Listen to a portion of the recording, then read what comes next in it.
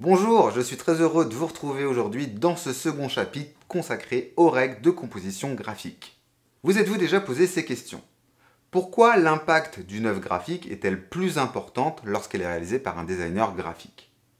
Ou encore, qu'est-ce qui fait qu'une affiche, qu'un site web, qu'un motion design ou tout autre support de communication est efficace?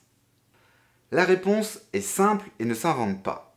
Derrière toute création visuelle, il y a un savoir-faire, une maîtrise des codes graphiques qui viendra naturellement structurer et embellir une composition.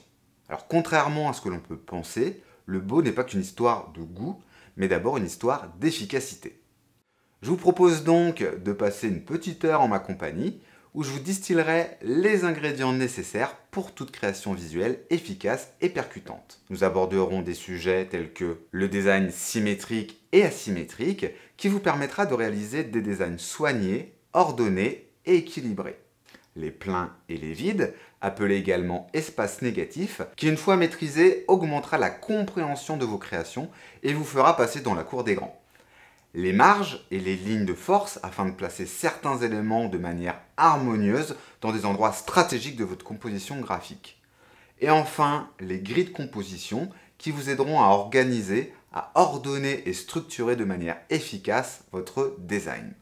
Le tout bien évidemment illustré à l'aide de supports pédagogiques animés. Je vous rappelle que le premier chapitre consacré à la maîtrise de la typographie est disponible dans notre catalogue de formation et sera un très bon complément à ce cours. Je vous dis donc alors à tout de suite dans ce nouveau tutoriel.